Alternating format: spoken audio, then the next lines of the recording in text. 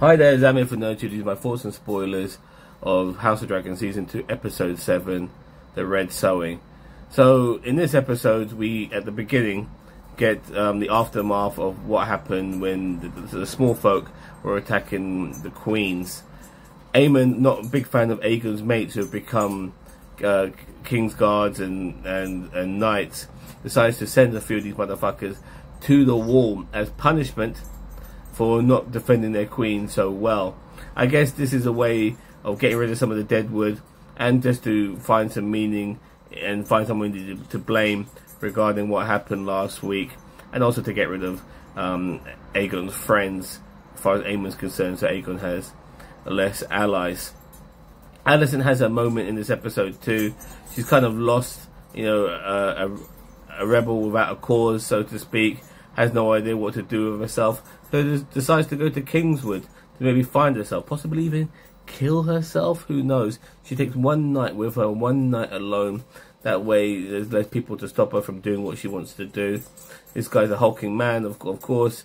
He's a he's, he's a uh, a knight, a seasoned knight, so he will look after her and all of that.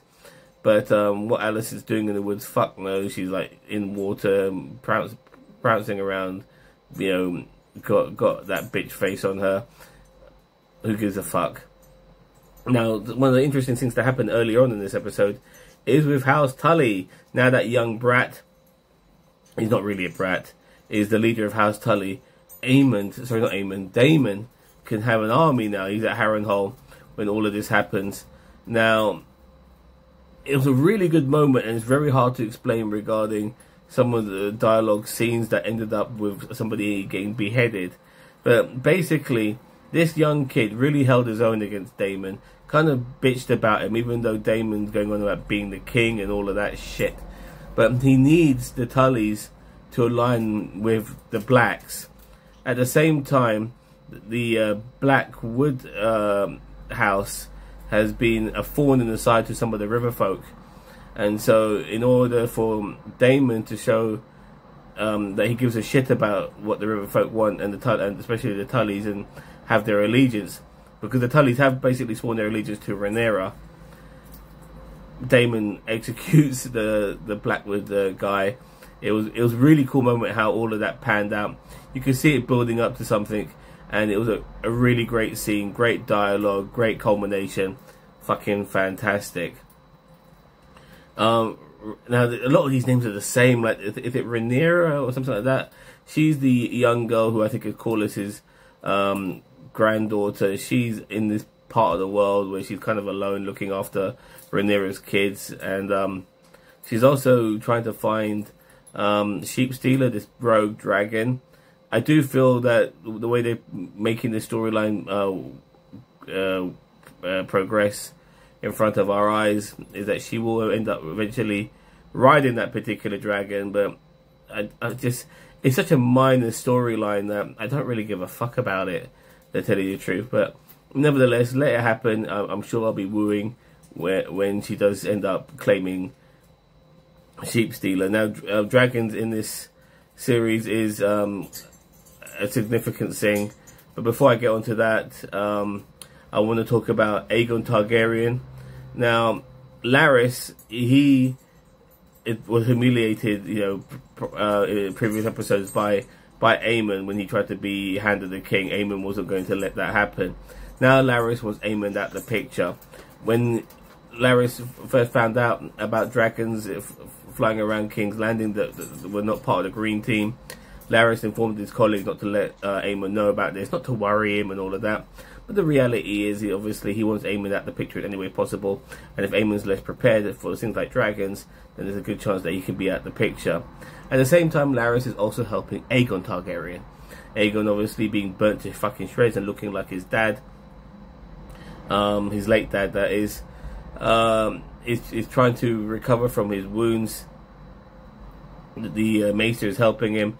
Larys is also trying to help him. He want he's trying to to uh, fast track his recovery because if Aegon does recover, then Aemond is no longer the king or the prince regent or whatever the fucking title. He's basically not in charge anymore. So for as far as Larys is concerned, um, that is fu- fundamental. Corlys, he has uh, two bastard sons. One of them obviously has Sea Smoke. The other one, he's also kind of like getting involved with the family business, so to speak. Now, when it comes to his bastards as well as Corlys, they haven't really told each other, who, you know, who we are to each other, even though they know who they are to each other. But I think Corlys wants um, to promote his these sons because I don't think he has sons, and this is like even though they're bastards, he can, you know, with a swipe of his hand, he can turn them into legitimate people and, and get their surnames changed.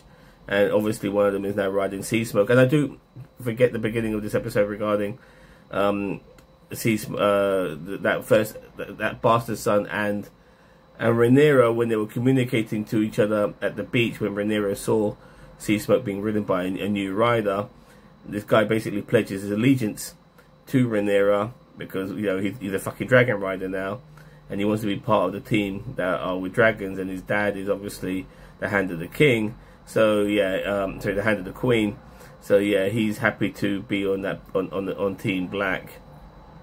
Now, Rhaenyra has got her minions to go to King's Landing and start speaking to the people there, the town folk, spread gossip and rumors that if you go to Dragonstone and you believe you are personally got uh, Targaryen Valyrian blood in you, and you will be allowed to be you know to ride a dragon uh, and be tested to ride the dragon and if you if you pass then you're joining the crew this rumor spreads around like wildfire and a whole bunch of white-haired town folk all start heading towards uh, Dragonstone.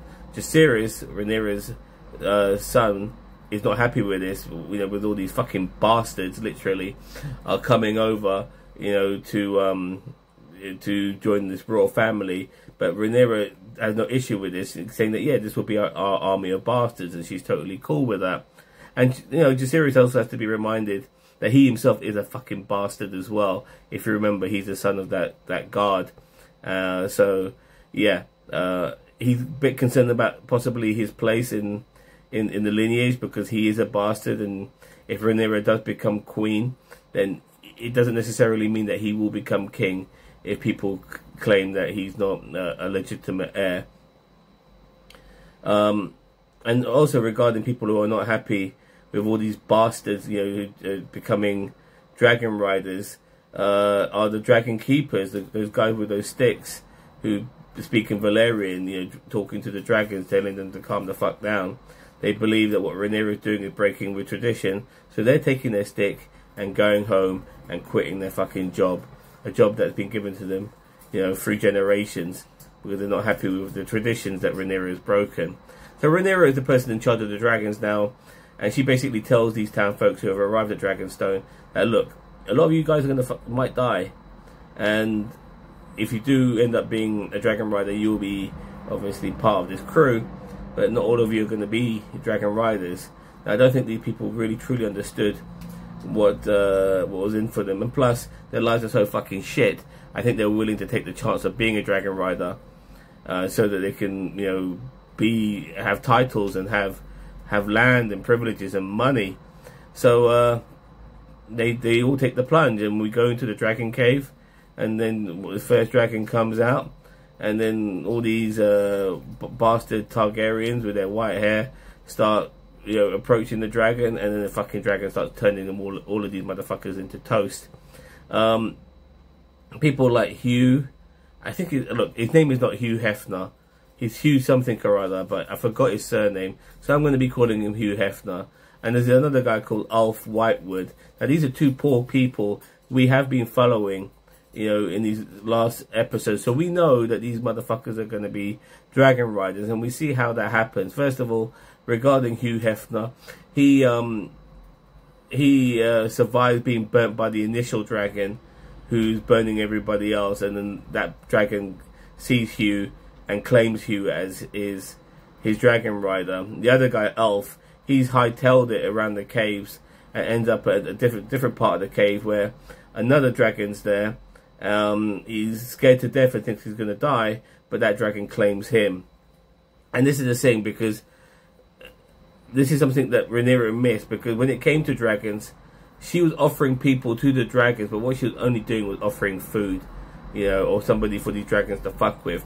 She should remembered how these dragons operate. But when it came to that other dude she saw earlier at the beginning of this episode, the dragons claim you, not the other way around. And uh, these dragons also claim these two poor folks, not the other way around. So um, that's what happened. And some nice moments, you know, once you saw all of that happen.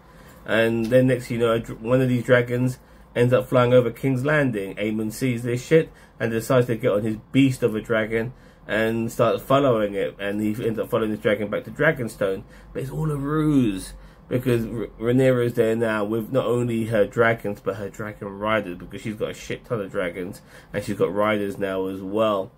And even though uh, Aemond's dragon is bigger, he can't take on you know several dragons at once, and so he turns around and there's Rhaenyra at Dragonstone looking at his uh, half brother, turning around saying, "Come at me, bro." You know, with that you know, scorn look on her face, like, "Yeah, I, you know, you don't want to fuck with this." And that's how that episode ends with her surrounded by her army of fucking dragons and her new dragon riders. And it'll be interesting to see next week what happens. Are we going to have another battle of dragons? And it'll be cool to see where these poor folks stand now in the in the sort of line and how they feel because they've been elevated in status from just being common folk, being bastards, to now being dragon riders. It's gonna be really cool to see, you know, the elevation of these people and how they take it and stuff like that. And will they play ball? You know, maybe they might not. Now they've got a fucking dragon. They might say, you know, fuck you, Rhaenyra. You know, I'm gonna take my dragon and do what the fuck I want and maybe rule my own fucking little plot of land and I'll have the dragon and nobody will fuck with me and people will worship me. Who knows? That could happen as well. Regardless, great episode. It's a shame there's only eight episodes this season. I know the show has a massive budget and stuff, but this is Game of Thrones, this is House of Dragon.